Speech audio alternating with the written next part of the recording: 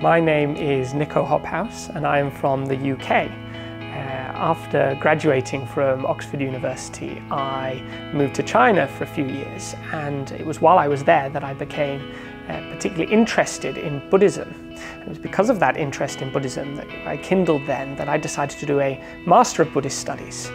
Uh, and I came to Hong Kong, partly because Hong Kong is a bridge between the Asian world of Buddhism that I'm so interested in uh, and between the Western world uh, that I am from, but also because the MBS program here at HKU is uh, one of the very finest programs of its type anywhere in the world.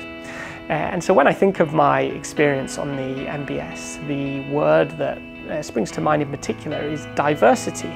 Uh, there was a great diversity in the teaching staff among the professors.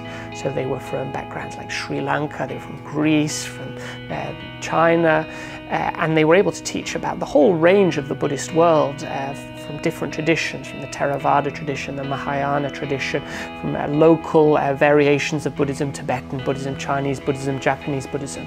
So there was that uh, great diversity in the teaching staff, but also in the student body, um, which I hadn't anticipated, and it was a great joy.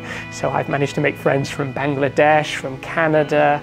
Um, I've managed to make friends with people who were perhaps more mature students, uh, people more my own age, men, women, uh, monks and nuns, so people who have uh, taken monastic vows, but also lay people. Uh, so there was that uh, diversity which was representative of the whole Buddhist world. Uh, and it is that diversity that I, now that I've graduated from the program, that I particularly remember and uh, think so fondly of. I think it was uh, very unique and very special.